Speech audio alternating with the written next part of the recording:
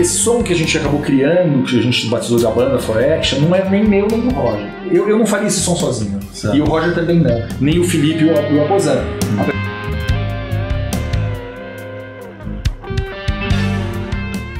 Eu acho que é uma dica boa para as pessoas. Se você quiser é, lutar muito bem jiu-jitsu, é bom ficar com um cara que sabe bem jiu-jitsu. Se você quiser cozinhar, fica do lado do grande cozinheiro. Se você quiser tocar bem, sabe que você faz? Arruma grandes músicos, sejam seus amigos, e cola nos caras. Fazendo música bem, fazendo com coração, né? Não é uma obrigação, ah, vamos lá ensaiar porque tem que ensaiar, não.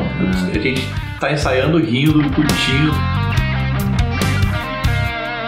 Você sabe que pra mim o solo vira um solo construído depois que eu ouço a gravação. Sim, a música ela, ela, ela realiza a última função dela, ou a função maior, quando você toca entre outros músicos, com outros músicos, com essa interação e com a interação da plateia.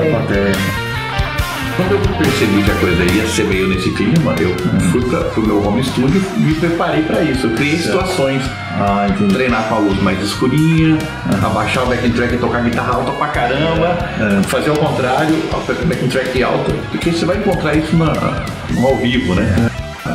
A, a crença diz o contrário, cara. Você tem que estar perto, Sim, né? sim. Tem que crer em Deus, cara. Você tem que estar junto, você tem que né, aproximar. Unir, não separar. né? É, unir, não separar, cara. Separar é horrível, né? Discriminar, pô, que loucura é essa? né?